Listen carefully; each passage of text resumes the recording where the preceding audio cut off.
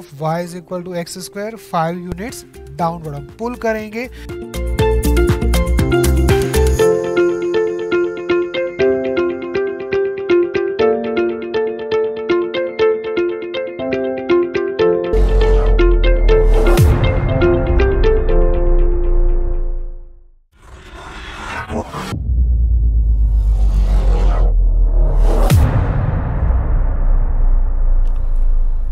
Have complex number z is equal to root 3 plus iota power 5. Let's simplify this using uh, De Moivre's theorem.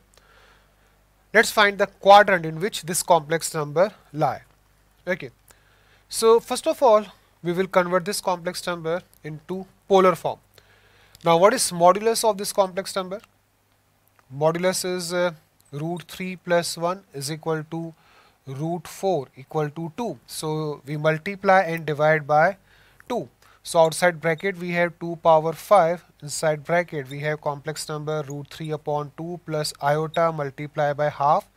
We have power 5 uh, for this complex number.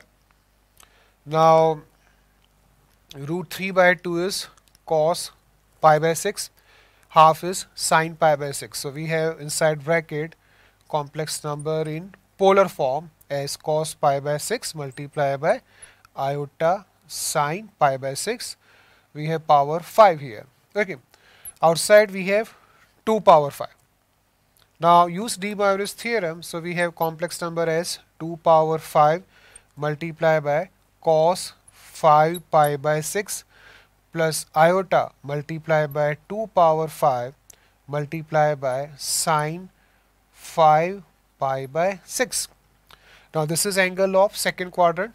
We have pi minus pi by 6 so cos 5 pi by 6 is minus root 3 upon 2 and sine 5 pi by 6 is uh, 1 upon 2. Okay, so we have here complex number as 2 power 4 multiplied by root 3.